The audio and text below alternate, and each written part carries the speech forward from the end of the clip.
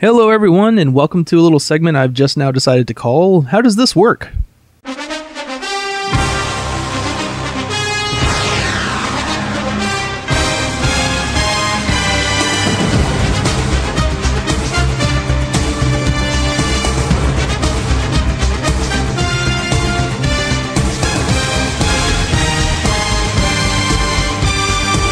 Today, we're going to be looking at fantasy football. And for those of you who didn't immediately turn off the video upon hearing that, I'm going to show you how it works. Now, I know most of you are thinking, but I don't know anything about football. I'm not going to know what I'm doing. Well, I don't really know what I'm doing either. I mean, outside of being a Jacksonville Jaguars fan, I don't really follow the NFL that closely. But that doesn't mean that fantasy football can't be fun. So let's take a little step outside of our comfort zone and get started. The first thing you'll have to do is register an account on NFL.com. Now you can use any name you want here, you know, email address, username, password, all that good stuff. Be sure to uncheck the email me NFL.com newsletters, offers, products, and updates. As long as you do that, you should not see any emails from NFL.com at all. Once you're signed in, go back to the home page, and right next to the NFL logo, you should see a tab here that says Fantasy. Click on that. Now, the easiest way to get started is actually not to use these uh, Get Started links. Actually, what you want to do is next to the little house icon, click on Fantasy 12. It gives you a nice big screen and gives you exactly what you need to do. If you're feeling ambitious, you can create a league, which actually I have done. Uh, you can join a league and there are literally thousands of leagues already created for you to join.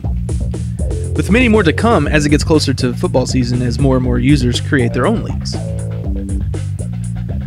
Now, for those of you who actually have the information needed to join my personal league, you're going to want to click the Received an Invite link and then type in the league ID and the league password and click Continue.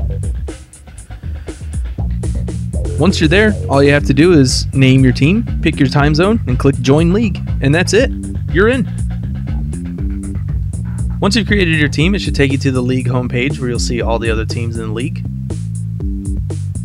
And from here, I'll show you around a little bit. Over here on the right, we have the current week's matchups. Down here, we have the league standings.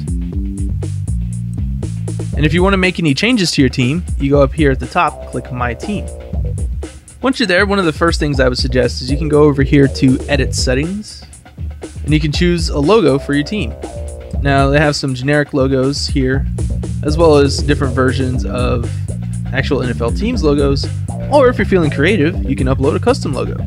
Just make sure that it is 80 pixels by 40 pixels. If you're feeling really adventurous, you can go up here to pre-draft rankings, and it'll show you these are actually my pre-draft rankings.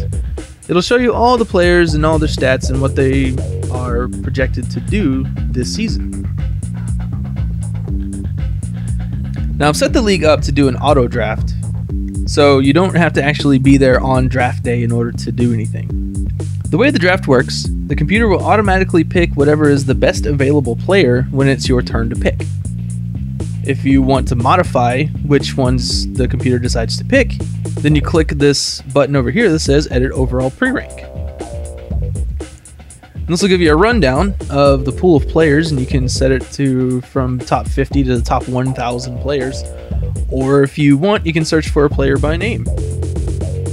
Once you have a player selected, you just click and drag over here to the right, and then click Save, and there you go. Whenever it's your turn to pick, if these players are available, then these will take precedent over any other players. And that's pretty much all you need to do in order to set up your team. Now, the way this works is you draft about 40 players per team. Then you pick one player for each position that you have available on game day. Once you fill out your active roster, NFL.com will actually take the stats of the real life players during their real life game and give you points based on those stats.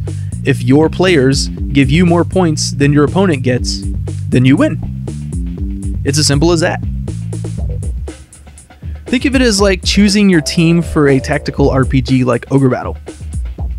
I hope this video clears up a lot of confusion. I really encourage you to sign up for my league and have some fun. There might just be prizes in store at the end of the season. Nikko's Windjammer, Power Glider. Power it up, turn off the power, and glide. Power down for smooth landing. Includes better attack and charger from Nikko. Electronic Geo Safari geography game. Learning made fun. An exciting game of knowledge for one or the whole family. Electronic Geo Safari from Educational Insights. Roseland Ranch. Roseland Ranch in Stanfordville, New York. A casual ranch resort offering swimming, horseback riding, and winter activities. Year-round fun. The Roseland Ranch.